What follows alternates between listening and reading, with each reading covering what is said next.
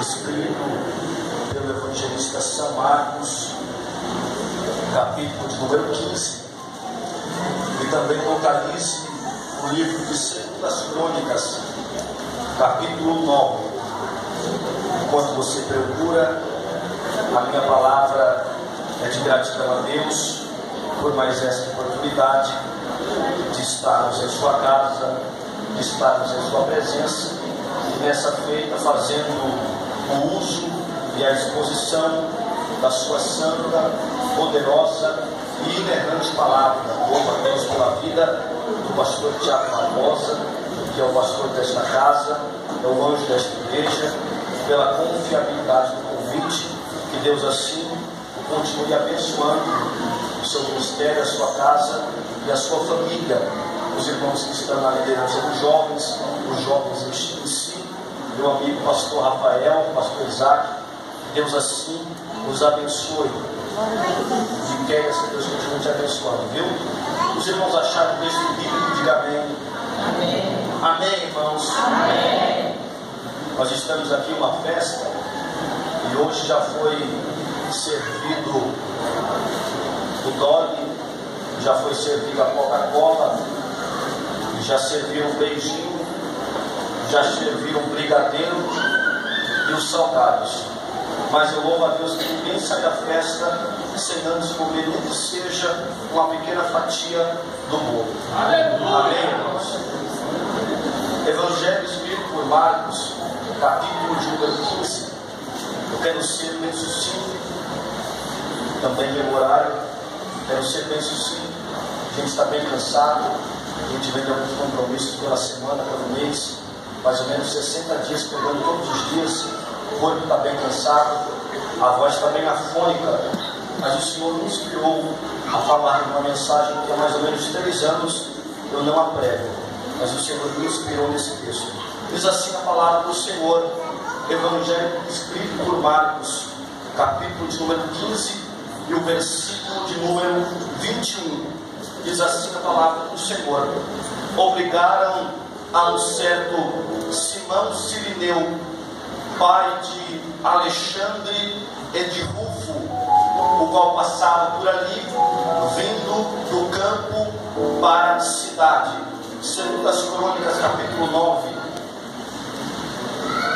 diz assim a palavra do Senhor: Quando a rainha de Sabá ouviu falar da fama de Salomão, veio a Jerusalém para testá-lo com enigmas, chegando com uma grande comitiva, camelos carregados de especiarias, ouro em abundância e pedras preciosas, veio ter com Salomão e falou-lhe de tudo que tinha no seu coração.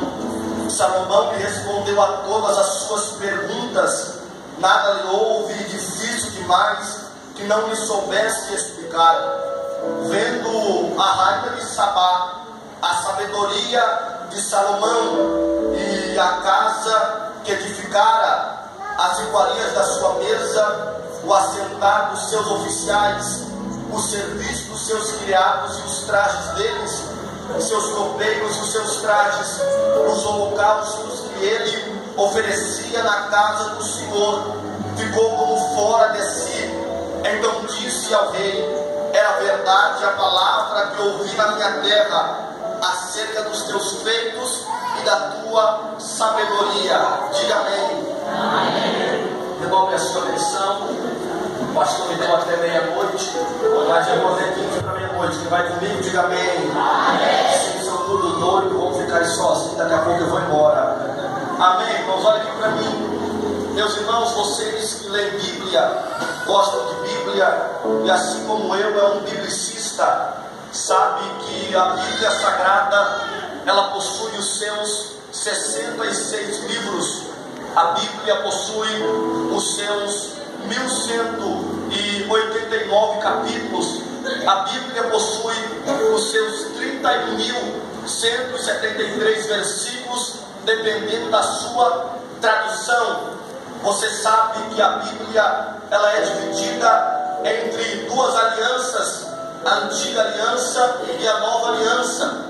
a antiga aliança, representando o Antigo Testamento, e a nova aliança, representando o Novo Testamento. Os irmãos sabem que o texto, ora lido, o texto, ora falado e mencionado, é um texto conhecido por todos nós, leitores da Bíblia. Você sabe que esse texto e o contexto está falando da crucificação de Jesus.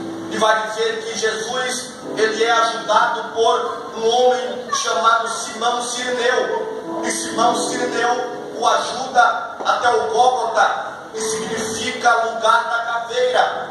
Mas sempre que nós ouvimos o nome Simão Sirineu o primeiro pensamento que vem em nossa mente é que Sirineu é o seu sobrenome é que Sirineu é o seu segundo nome, mas na verdade Sirineu representa etnia, Sirineu representa terra natal, Sirineu representa lugar de origem. Os irmãos sabem que Sirineu vem de Sirene, e Sirene era uma cidade ao lado de Sabá. O historiador, por nome de Flávio Joséfo, ele vai dizer que este Simão Sirineu, ele era negro, ele vai dizer que Simão Sirineu, ele se localizava na África. Ele vai dizer que Simão Sirineu, ele era um africano. E agora alguém pergunta, como alguém que naquela época se localizava na África, ele passa a ouvir a palavra de Deus. Mas o mesmo historiador, ele faz uma coligação com o livro de Segundas Crônicas, capítulo 9, aonde a Bíblia está ortogando e falando sobre o terceiro rei de Israel. Os irmãos sabem que o primeiro rei ele é Saul, o segundo rei ele é Davi, e agora o terceiro rei ele é Salomão. A Bíblia vai ortogar dizendo que o próprio Deus se revela a Salomão, que o próprio Deus aparece a Salomão e que Deus permite que Salomão lhe faça um pedido. Deus permite que Salomão lhe peça preciso que você entenda que entre esse pedido, Salomão poderia pedir a Deus a morte dos seus inimigos. Salomão poderia pedir ouro em abundância. Salomão poderia pedir prata e poderia pedir bronze. Mas a Bíblia vai ortogar dizendo que Salomão pede a Deus a sabedoria. E ele pede a Deus que ele saiba entrar e que ele saiba sair dos lugares. Mas agora a Bíblia vai dizer que Salomão ele recebe a sabedoria, mas por ele pedir também, ele não só recebe a sabedoria, mas ele recebe muitas riquezas. E agora a Bíblia vai dizer que Salomão é o homem mais sábio que existe, e ele é o homem mais rico que existe. Agora a Bíblia diz que a fama de Salomão, olha para mim, a fama de Salomão começa a se espalhar por vários lugares. Agora a Bíblia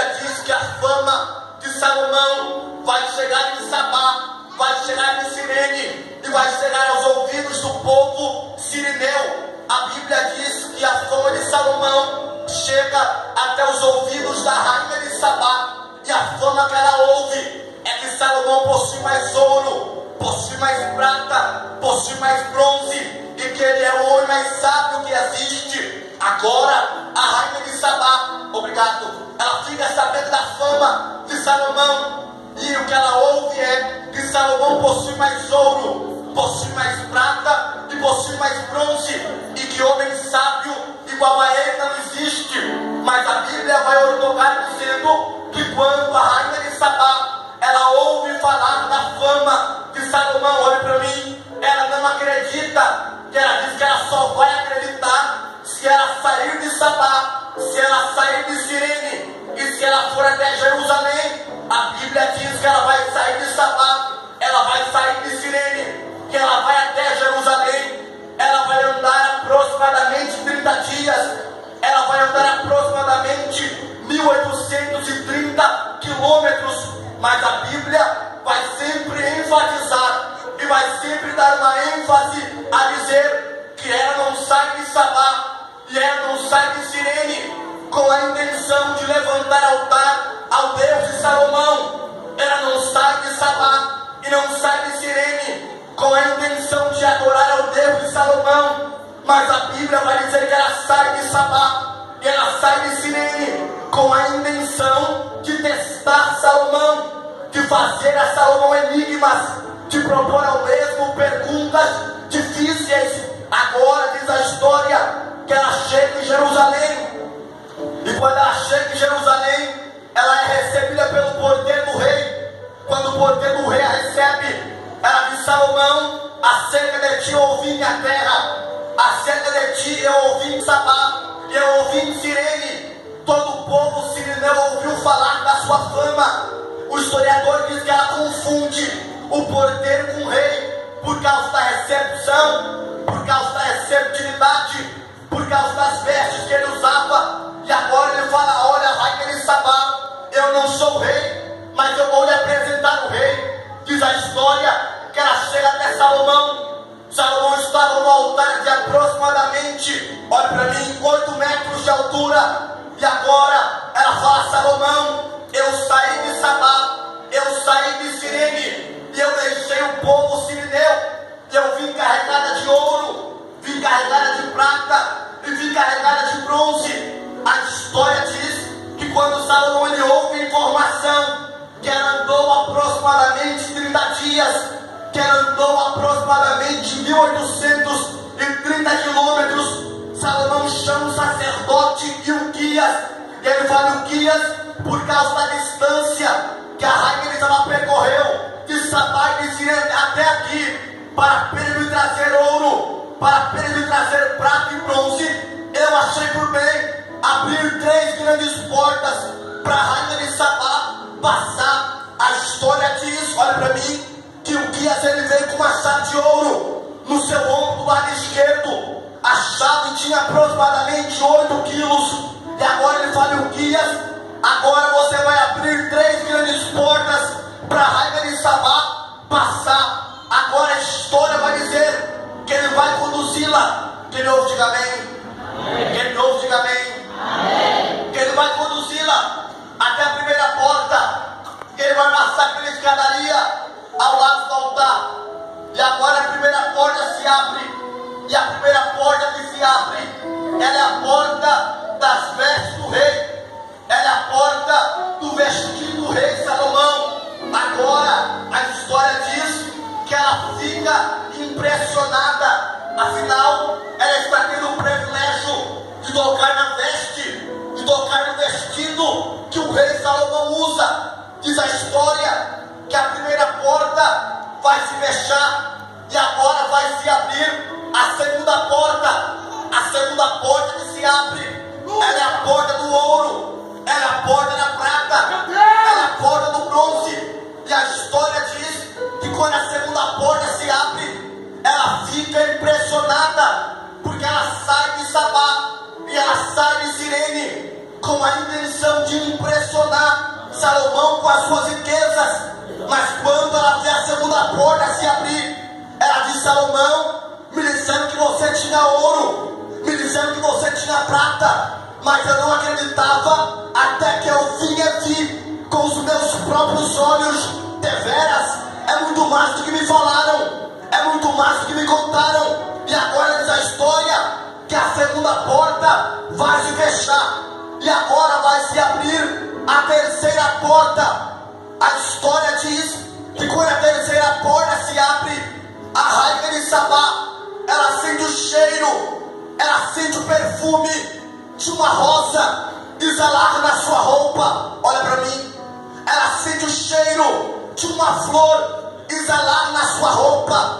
E agora ela fala: Salomão, Permita que eu entre pela terceira porta, que a porta do seu jardim, que eu dê sete passos e que eu pegue uma dessas rosas e eu levo de presente para Sabá e para Sirene, ou seja, para o povo sirineu. A história vai dizer que agora Salomão permite, ela vai entrar pela terceira porta, ela dá o primeiro passo, ela dá o segundo passo, ela dá o terceiro, ela dá o quarto, ela dá o quinto, ela dá o sexto, no sétimo ela para, ela baixa, ela pega a flor, ela guarda em sua bolsa. E agora a história diz: olha para mim, a história diz que ela pegando a flor, ela chama um artesã. E ela fala, artesã, eu quero que você construa uma flor igual a essa que eu tirei do jardim do rei. Eu quero que você construa uma flor igual a essa. Mas tem um porém. A flor tem que ser idêntica. Mas a flor tem que conter artificialidade. A flor tem que ser idêntica.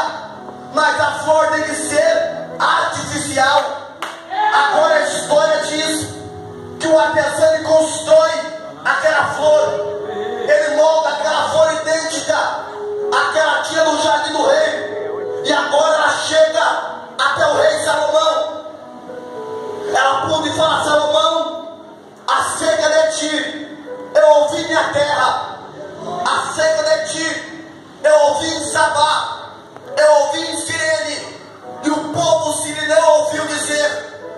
Sábio e que homem igual você não existe. Então, Salomão, a minha pergunta ela é simples, ela é rápida e ela é objetiva.